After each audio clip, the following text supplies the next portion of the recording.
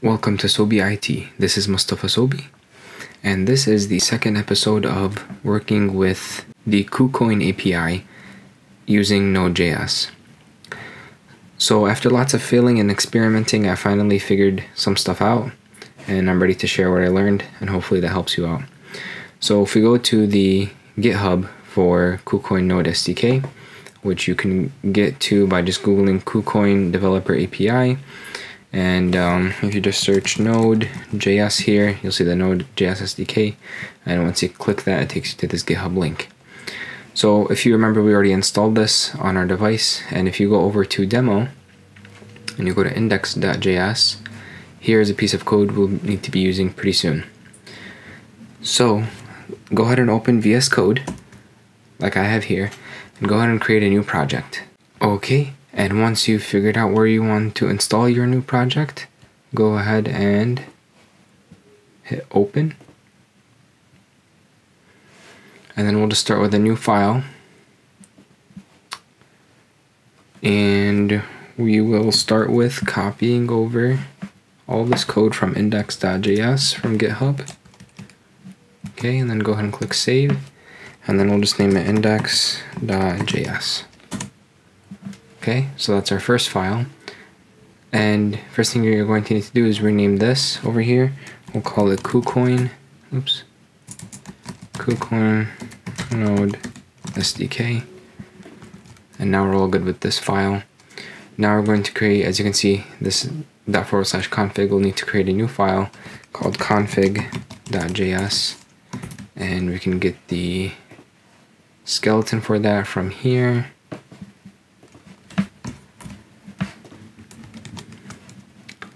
okay and actually this is not the link we want to use. The link we want to use is going to be https api.kucoin.com okay?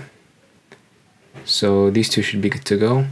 So basically what's going on is first we're taking in the module for KuCoin Node SDK and then we're going to initialize our API which is what we're taking in here with the configs that we have in this file so over here in this file, we have a base URL that's going to be the website. So you can use the sandbox website, not not this link exactly, but KuCoin does have a sandbox website, and um, that one can work if you're if you're just doing some basic testing. So we can even use that right now. So just do open API sandbox, and we're going to be using .com. I'm not sure why we can't use .io, but I know that .com works. And uh, for the authentication, right now we don't need to fill these out because some of the some of the functions that we're going to be running won't require us to be signed in to the API. But later on, if there's anything account specific, then we will need to be signed in with our API, and I'll go over how to do that later.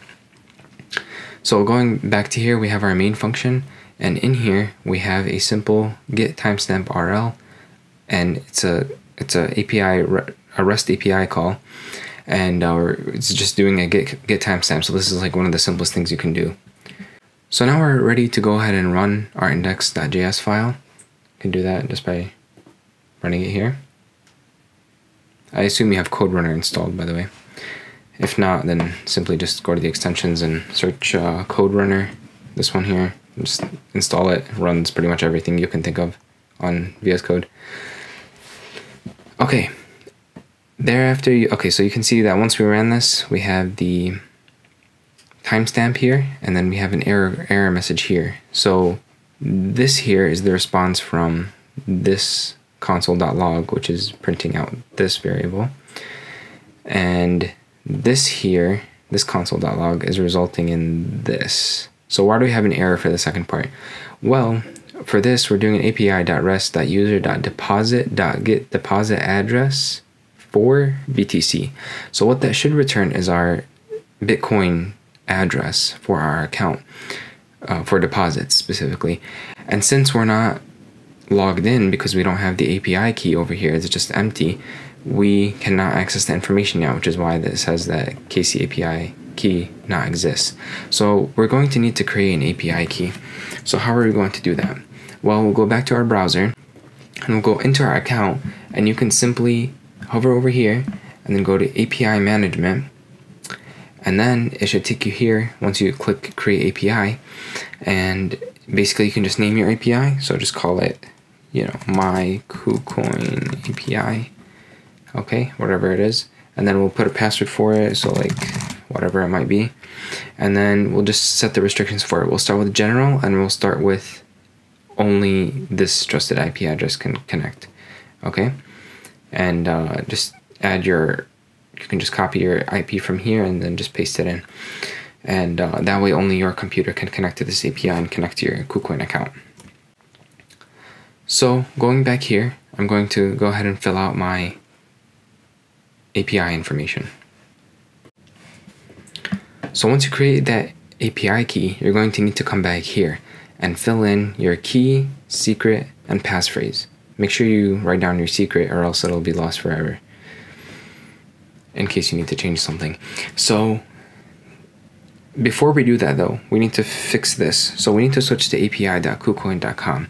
And the reason for that is we didn't create a API key for the sandbox KuCoin website. We created it for the regular KuCoin website. So now when I fill these, these things in right over here, I'm going to save this and go back to the index.js file.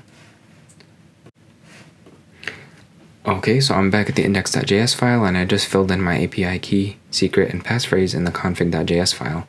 Now if I go ahead and run it, we should see it successfully returns my Bitcoin address. Feel free to send Bitcoin. I'm kidding. Uh, you can see here the code for that is a 200, which is in this case a success. And um,